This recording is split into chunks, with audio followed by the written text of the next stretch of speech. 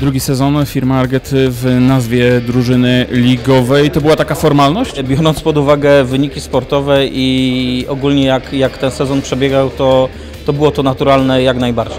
Ja bym chciał przede wszystkim podziękować panu Waldkowi, tutaj wiceprezesowi, że pozwolił nam być jako sponsorami, bo my nie byliśmy pewni, czy będziemy powiedzmy mogli dalej sponsorować, ale dzięki tutaj koledze Waldkowi, który jest wiceprezesem, no sponsorujemy dalej. Za to bardzo dziękujemy za taką powiedzmy możliwość.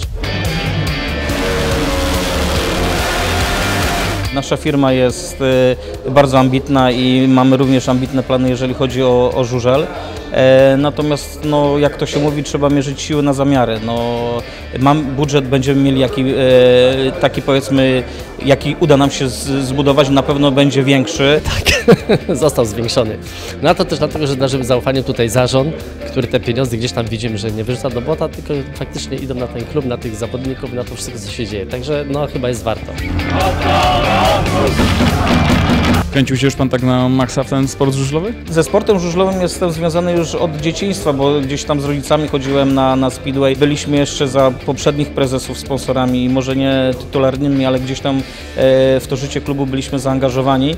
E, Natomiast no, oczywiście poprzedni sezon rozbudził wielkie apetyty. No, mecz z Gniezdem przejdzie właściwie do historii. Ja mam bardzo dużą rodzinę na Śląsku, która kibicowała właśnie Rybnikowi.